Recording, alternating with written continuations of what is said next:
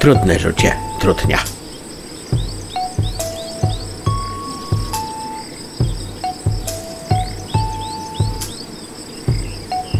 Fruwają pszczółki nad lasem. Fruwają pszczółki, gdzie łąki. Zbierają nektar na miodek, a miodek jest zdrowy i słodki.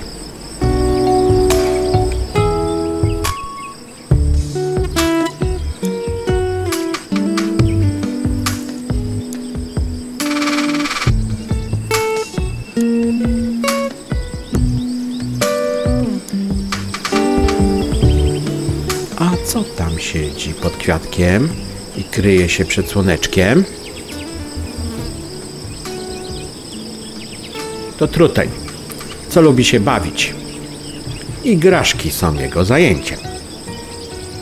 Dla niego fruwanie za ciężkie. Zbieranie nektaru niepiękne. Próżniactwo on tylko lubi, inaczej w tym świecie się gubi. Spełniło się jego marzenie, że został mężem królowej. A taki był z niego tatuś, że Boże nasz drogi uchowaj. Fakt, nie trwało to długo, bo życie miał takie niezdrowe. I przez te jego igraszki wnet owdowiała królowa.